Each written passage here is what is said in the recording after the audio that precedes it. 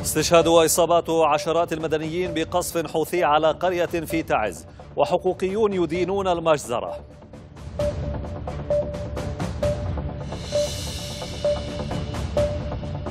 معارك بين الجيش وميليشيا الحوثي في مأرب والضالع واللواء العرادة يصل مأرب بعد عام من بقائه في السعودية.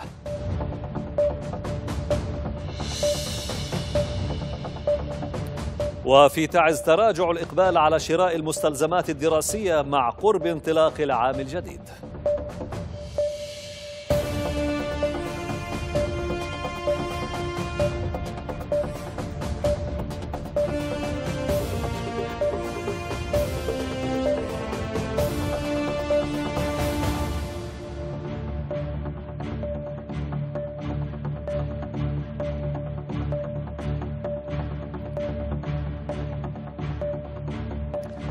نشرة التاسعة من يمن شباب أهلا بكم. والبداية من تعز حيث استشهد ثلاثة مدنيين وأصيب اثنا عشر آخرون. في قصف طال قرى بمدينة تعز وكان قصف مدفعي لميليشيا الحوثي استهدف قرية بمديرية مقبنة غرب محافظة تعز.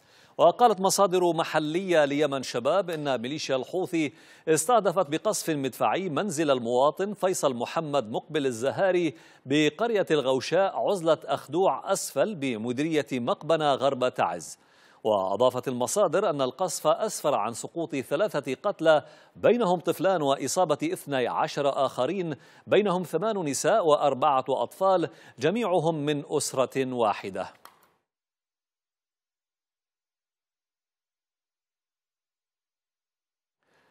وعلى أصداء الجريمة استنكر ناشطون وحقوقيون المجزرة التي أقدمت عليها ميليشيا العدوان الحوثي باستهداف المدنيين في مديرية مقبنة بتعز وأكد الحقوقيون والناشطون على مواقع التواصل الاجتماعي أن القصف المدفعي الحوثي الذي استشهد أو استهدف أهالي قرية الغوشاء في مقبنة وأسفر عن استشهاد وإصابة 12 مدنيا بينهم أطفال يرقى إلى جريمة حرب جديدة ضد المدنيين العزل. كما طالب الحقوقيون والناشطون قيادة الشرعية ممثلة في المجلس الرئاسي برد عسكري حاسم وحماية المدنيين في مقبنة من خلال إطلاق عملية عسكرية لاستكمال تحرير المديرية. في تعز أيضا جدد محتجون مطالبهم باستكمال تحرير المحافظة وتطهيرها من الميليشيا الحوثية الإجرامية. المحتجون في وقفة عقب صلاة الجمعة بساحة الحرية وسط المدينة نددوا بجرائم الميليشيا الحوثية وتجويعها للشعب اليمني في مناطق سيطرتها واعتداءاتها وهجماتها على المدنيين في عدد من المناطق والمحافظات المحررة. وشدد المحتجون في هذا السياق على ضرورة قيام مجلس القيادة الرئاسي والحكومة بضرورة العمل على ضمان محاكمة قيادة الميليشيا دوليا عن جرائم الحرب التي اقترفتها بحق الشعب اليمني طيلة السنوات الثمان الماضية. وجدد المشاركون في الوقفة مطالبهم لقيادة الشرعية ممثلة في المجلس الرئاسي والحكومة بتوفير الإمكانات اللازمة لدحر الميليشيا واستكمال تحرير المحافظة.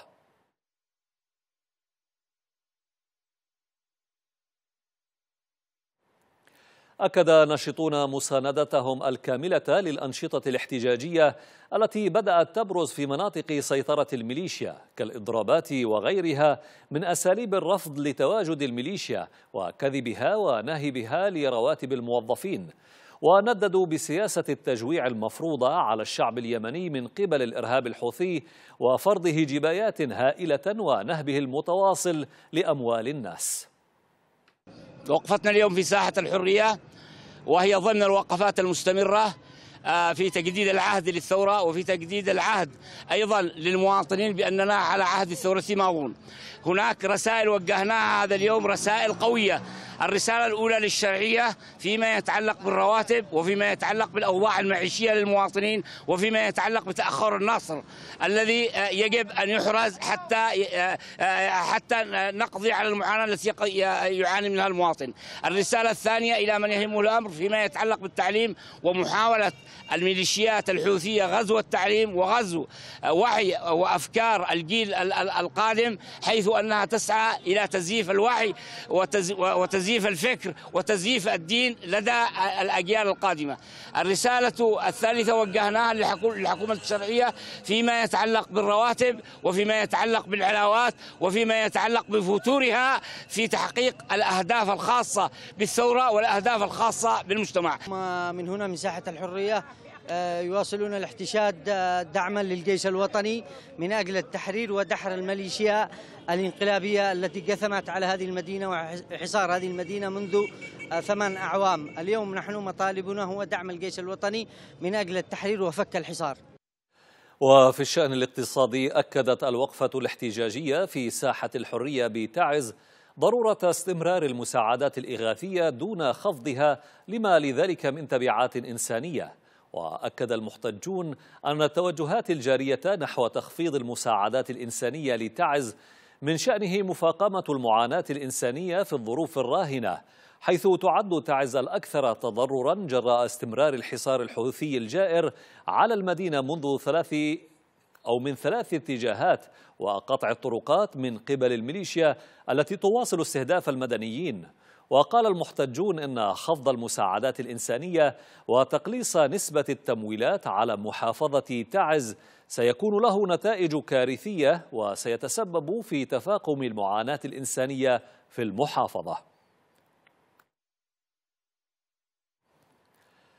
إلى ذلك يواصل برنامج الغذاء العالمي التابع للأمم المتحدة تعليق برنامج المساعدات الغذائية في عدد من مناطق محافظة تعز منذ اغتيال رئيس مكتب المي... مكتبه... مكتبه الميداني في مدينة التربة قبل شهر.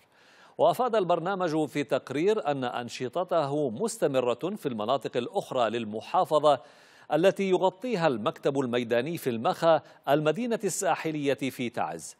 وهذا الأسبوع أطلقت السلطات المحلية وعدد من المنظمات دعوات بمواصلة النشاط الإنساني للمنظمات الدولية لمواجهة الاحتياج والأعباء التي يخلفها حصار ميليشيا الحوثي الإرهابية. عسكريا شهدت مأرب معارك عنيفة بين الجيش الوطني والمقاومة الشعبية من جهة والميليشيا الحوثية من جهة أخرى على امتداد الجبهة الشمالية الغربية. وقالت مصادر عسكرية ليمن شباب إن المعارك اندلعت على امتداد خطوط التماس في مديريات الجدعان مدغل ومجزر ورغوان وحتى سلسلة جبال ملعاء الرابطة بين مديريتي حريب والجوبة وأضافت أن قصفا مكثفا بالمدفعية والطيران المسير تشنه الميليشيا الحوثية منذ أيام على مواقع للجيش في الجبهة المحاذية لكمب الجفرة ومعسكر ماس في مديرية مدغل. قوبل برد من قوات الجيش والمقاومة والتي قصفت مواقع الميليشيا في الجبهة الشمالية الغربية حيث استهدف القصف أماكن تمركز بطاريات المدفعية التابعة للميليشيا ونقاط تجمع عناصرها وأماكن تمركز القناصة الحوثية على خطوط التماس. إلى ذلك واصلت الميليشيا الحوثية عدوانها على المدنيين في مديرية حريب ومحيطها بمأرب واستهداف قرى مأهولة بالسكان. وقالت مصادر محلية وحقوقية ليمن شباب إن الميليشيا واصلت استهداف قرى آل غنيم ووضو في حريب في جرائم ترقى إلى جرائم حرب واستهداف متكرر للمدنيين. وخلال اليومين الماضيين اندلع النيران في ثلاثة منازل بالمنطقة جراء القصف الحوثي.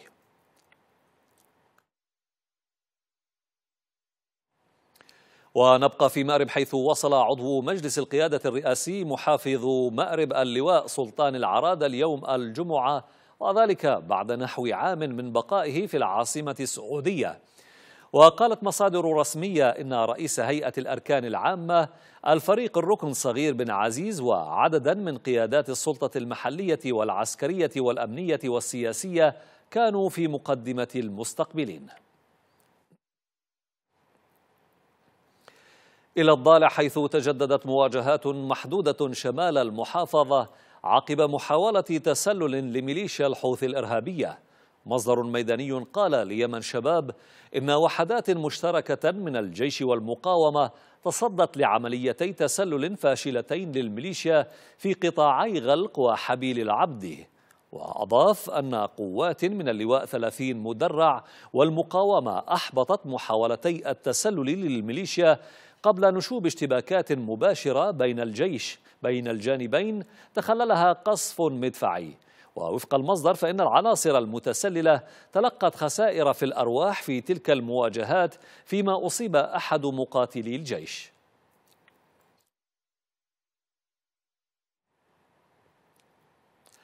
سياسيا قالت مصادر حكومية إن شروطا فرضتها ميليشيا الحوثي الانقلابية حالت دون استكمال اتفاق ضمن الجهود الإقليمية والدولية لوقف إطلاق النار. ونقلت صحيفة البيان الإماراتية عن مصادر حكومية يمنية أن الوساطة الإقليمية والدولية حققت بعض التقدم فيما يخص الملف الإنساني في اليمن غير أن شروط الحوثيين ما تزال تحول دون استكمال الاتفاق.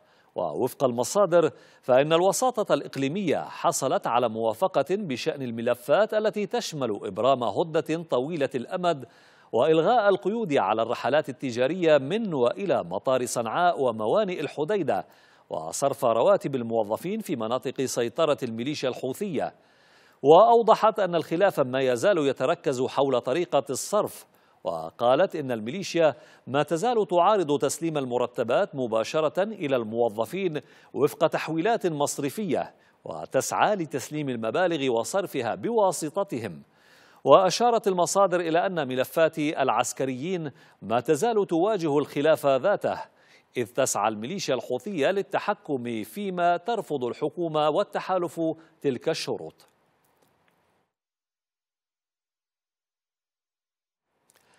تعيش ميليشيا الحوثي حالة من التخبط والتناقض فبينما تتحدث عن منحها امتيازات للتجار ورجال الأعمال في مجال الاستيراد والاستثمار تنفذ في المقابل ممارسات وحملات تضييق ضد القطاع التجاري وتعمل على حشره في زاوية ضيقة تقود إلى إضعافه.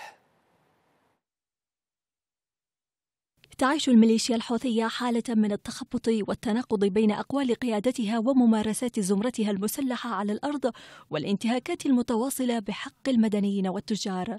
ففي الوقت الذي تردد فيه قيادة الميليشيا عن مزايا للتجار والمستثمرين تتصاعد حالات الخنق للنشاط التجاري من خلال مضاعفة الجبايات والرسوم غير القانونية لتظهر على حقيقتها كميليشيا نهب وعنصرية وتجويع وإذلال. ضاعفت الميليشيا منذ مطلع الشهر الجاري الجبايات والضرائب بنسبة 200% على السلع والبضائع في المنافذ الجمركية التي استحدثتها على حدود المحافظات والمناطق المحررة لفرض الانفصال كأمر واقع ونهب الأموال بالتزامن مع حالة الغليان والسخط الشعبية ضد الميليشيا وضد حالة الترف التي تعيشها قيادة الميليشيا الحوثية ومنعهم صرف المرتبات بالرغم من وجود مخزون مالي هائل لدى الجماعة الجماعة من الإيرادات والجبايات.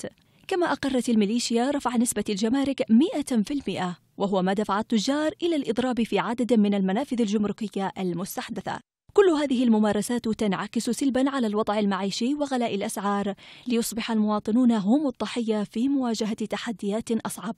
تتنصل الميليشيا عن أبسط التزامات دفع الرواتب لموظفي القطاع العام وتواصل عمليات النهب الجائر لموارد الدولة ومضاعفة الجمارك والجبايات على التجار بالتزامن مع سريان مخططها لإحلال عناصر حوثية واحتكارها مختلف القطاعات. مضايقات وابتزاز وانتهاكات حوثية تشمل المدنيين والتجار ما يؤكد إصرار الميليشيا على جعل الإيرادات خاصة بالسلالة ومؤيديها دونا عن الشعب. وتتقاضى قيادات الحوثية ومشرفوها المخصصات الشهرية والرواتب المنتظمة التي يتلقونها مقابل المعاناة التي تطحن الناس وتفتك بهم. وإزاء تلك التصرفات تظهر الميليشيا عجزها عن التصرف كدولة وطبيعتهم اللصوصية التي يصعب عليهم تغييرها. ضمن مؤشرات تقود إلى صدام حتمي بين الميليشيا وكافة شرائح المجتمع مستقبلاً.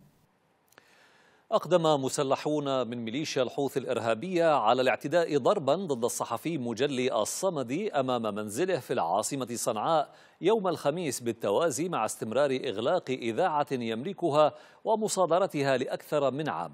وقال الصحفي الصمدي في تغريدة على منصة إكس إن خمسة مسلحين حوثيين اعترضوا وصوله إلى منزله في حي الصافية وباشروه ضربا حتى سال الدم من بين فكيه.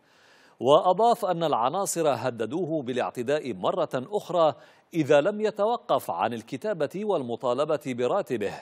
وأشار في تغريدة أخرى إلى أن الميليشيا لم تكتفي بنهب إذاعته بل وصلت إلى وجهه والاعتداء عليه أمام مرأى الأهالي وفي شارع عام. ونشر الصحفي الصمدي صورا له على مواقع التواصل الاجتماعي تظهر آثار الضرب الذي تعرض له.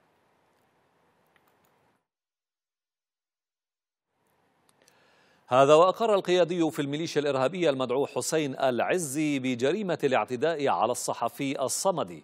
وقال العزي الذي ينتحل صفة نائب وزير الخارجية إن حكومته غير المعترف بها لا تمانع من انتقادها لكنها لن تحمي من يسيء لرسول الله بحسب زعمه في ذريعة لتبرير الاعتداءات الحوثية. وكان الصمدي قد كتب مغردا على تويتر بأحقيته للراتب وانتقد الذرائع التي تمارسها الميليشيا لجمع الجبايات لإقامة فعالية المولد. هذا وأدان مرصد الحريات الإعلامية في اليمن الاعتداء الجسدي الذي تعرض له الصحفي مجلي الصمدي مؤسس ومالك إذاعة صوت اليمن. وأكد المرصد في بيان رفضه لكل الممارسات التعسفية التي تمارسها ميليشيا الحوثي بحق الصمد وإذاعة صوت اليمن. وحمل المرصد الميليشيا الإرهابية مسؤولية سلامة الصحفي الصمد وما قد يتعرض له من أذى أو مخاطر على خلفية كتاباته الصحفية في مواقع التواصل الاجتماعي ومطالباته بإعادة المنهوبات الخاصة بإذاعة صوت اليمن.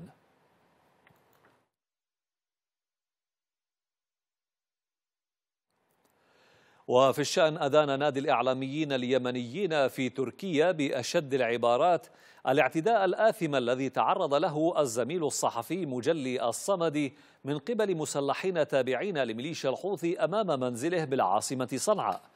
وقال النادي في بيان إن الزميل الصمدي تعرض لانتهاكات سابقة من قبل الميليشيا التي عمدت إلى إغلاق إذاعة صوت اليمن المملوكة له وبعد ذهابه إلى القضاء الخاضع لسيطرة الميليشيا نفسها وحصوله على أحكام بالتعويض وإعادة الإذاعة رفضت الميليشيا تنفيذ الحكم.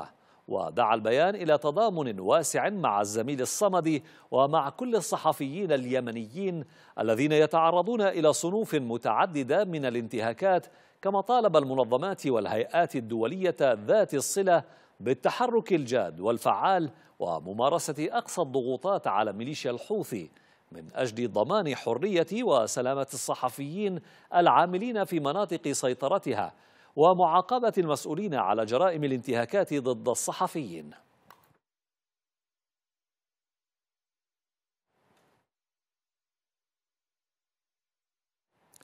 فجرت أطماع الحوثيين وأعمال النهب التي يمارسونها صراعات بين قادة الميليشيا ومن بينها المنهوبات التي أشعلت خلافات داخلية على أراضي وادي سردد بمحافظة المحويت. فجرت أراضي وادي سردد السياحية التابعة للدولة الواقعة بالمحويط غرب صنعاء صراعا علنيا بين قيادات ميليشيا الحوثي على خطاها في عمليات النهب والسطو على أراضي الدولة والمواطنين التي بدأتها قبل سنوات. تركز محور الصراع على أراضي سردد بين مستشار محافظ المحويت المدعو هشام العرابي وبين الشيخ القبلي الموالي للميليشيات فارس الحباري المعين من قبلها محافظا لريمة المدعو الحباري استولى على مناطق سياحية واسعة في وادي سردود وقام باستثمارها ويجني منها أموالا طائلة حيث يفرض جبايات على المواطنين الزائرين للمنطقة مبالغ مالية تتراوح ما بين خمسة آلاف إلى عشرة آلاف على العائلة الواحدة. تحركات الحبار أثارت غضب المدعو هشام العرابي المسؤول المقرب من حنين قطينة الذي عينته الميليشيا محافظا للمحويت الذي يرى أن الحبار وافدا على المحافظة. المدعو العرابي ظهر محذرا من نفاذ الصبر إذا لم يوقف الحبار عمليات الاستحداثات والسيطرة على المنطقة وعلى ينابيعها لتقوم القيادة العليا للميليشيات بتشكيل لجنة للاطلاع على ذلك الأمر. اللجنة الحوثية المشكلة أكدت قيام الحباري بالبسط على مساحات واسعة من الأراضي السياحية في عيون سردد دون أن يثبت ملكيته لها وما زال الصراع قائما. قيادات ميليشيا الحوثي تلهث وراء السطو على أراضي الدولة والمواطنين خصوصا الأراضي السياحية ذات المواقع القيمة التي تجني منها أموالا طائلة. وصل الأمر إلى مستوى التنافس والصراع الشديد بين القيادات الحوثية. التنافس بين قيادات ميليشيا الحوثي للسطو على الأراضي ليس بجديد فقد بدأته قبل سنوات بدءا من صعدة وصنعاء شمالا حتى ذمار والبيضاء وإب وسط البلاد وصولا إلى الحديدة غربا. وما الصراع على أراضي وادي سردد إلا جانبا واحدا من بين كثير من القضايا المماثلة بين قيادات الميليشيا. في محافظة إب أقدم مسلحون حوثيون على حرق منزل لأحد الأهالي في مديرية العدين غربية المحافظة امتدادا لسلسلة جرائم ترتكبها الميليشيا الإرهابية بحق السكان. مصادر محلية قالت إن عناصر حوثية يقودها المدعو أبو حسين الهاروني أحرقوا منزل مواطن يدعى أحمد الشهاري في قرية ثوعب. وتأتي هذه الجريمة ضمن حملة تنكيل حوثية تمارسها الميليشيا في المنطقة منذ عدة أشهر تسببت في مقتل عدد من الأهالي واختطاف آخرين وإحراق عدد من المنازل. ووثق راصدون محليون مقتل وجرح ما لا يقل عن خمسة عشر خلال الأشهر الماضية وإحراق العديد من منازل الأهالي. وفي ظل فوضى أمنية تشهدها محافظة إب عثر على جثمان أحد المواطنين مقتولا داخل شقته السكنية في ظروف غامضة. وقالت مصادر محلية إنه تم العثور على المواطن جلال حسن السبل مقتولا رميا بالرصاص داخل شقته في عمارة سكنية مكونة من 24 شقة في منطقة شبان بريف محافظة إب. وأكدت المصادر أن المواطن جلال السبل من أبناء مديرية القفر في إب وكان يعمل في مكتب الأوقاف تعرض للقتل في ظروف غامضة وبعملية أقرب ما تكون للتصفية الجسدية. ويأتي ذلك وسط فوضى أمنية تشهدها محافظة إب في ظل سيطرة الميليشيا الحوثية.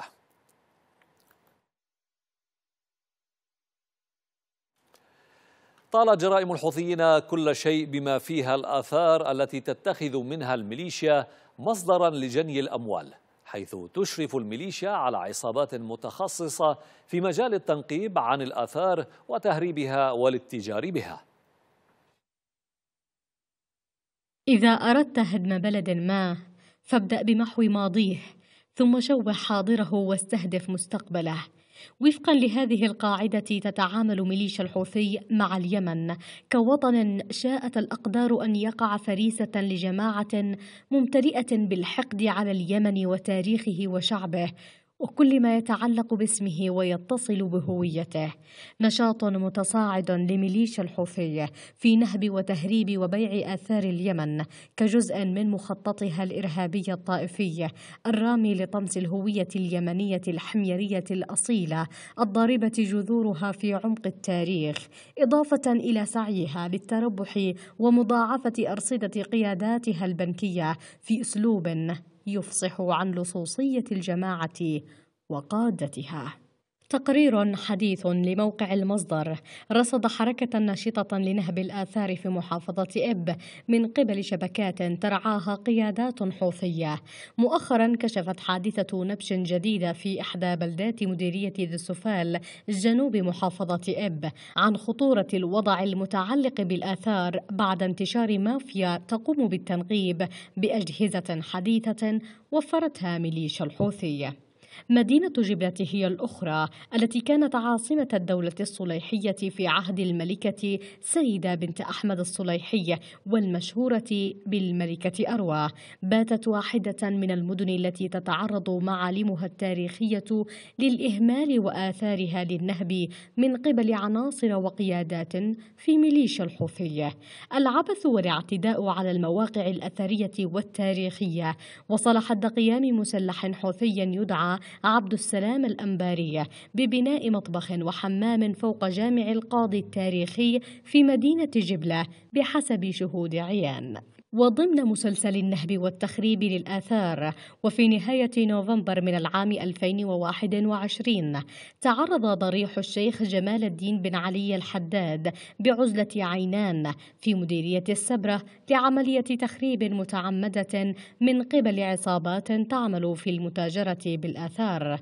آثار منطقة ظفار بمحافظة إب أيضا في يناير من العام الماضي كانت مسرحا لعمليات نهب وتهريب وحفر عشوائي وسرقة كمية من الآثار منها تمثال برونزي وموميا قديمة وختم أثري يعود للدولة الحميرية والكثير من القطع الأثرية التاريخية.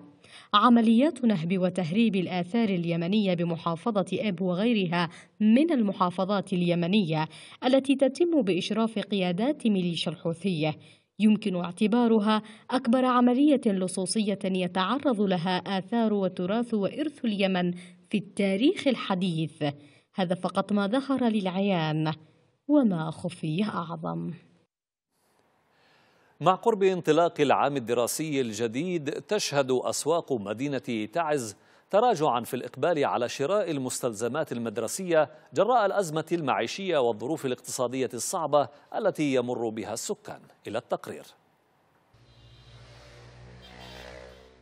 إلى هذا المحل الخاص ببيع القرطاسية والمستلزمات المدرسية حضر المعلم محمد قاصدا شراء ما يحتاجه أبناؤه للدراسة مع قرب بدء العام الدراسي الجديد.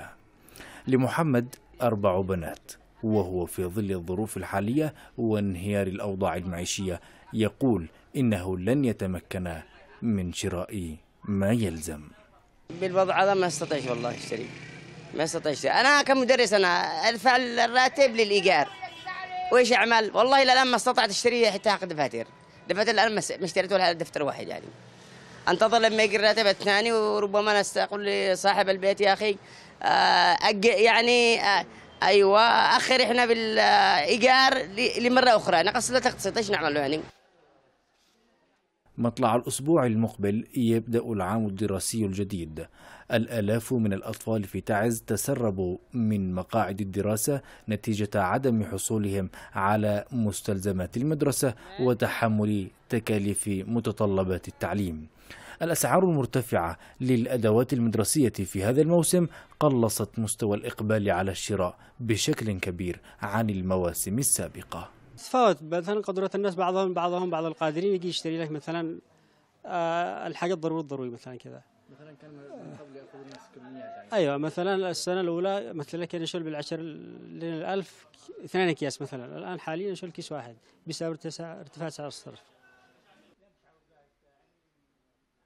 تشكل الأزمة المعيشية التي تسببت بها ميليشيا الحوثية الإرهابية والتدهور الاقتصادي وغياب الحلول من قبل الحكومة تشكل حاجزا أمام رغبة المواطنين في توفير حياة كريمة لأطفالهم وأسرهم وتأمين تعليمهم ومستقبلهم.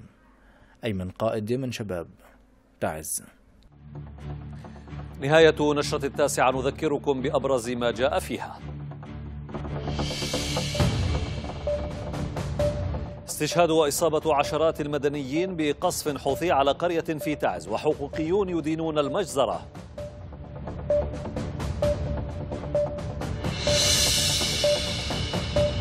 معارك بين الجيش وميليشيا الحوثي في مأرب والضالع واللواء العرادة يصل مأرب بعد عام من بقائه في السعودية.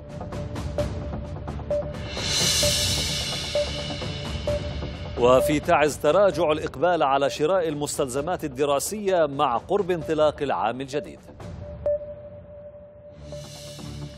دمتم وادام اليمن بألف خير. إلى اللقاء.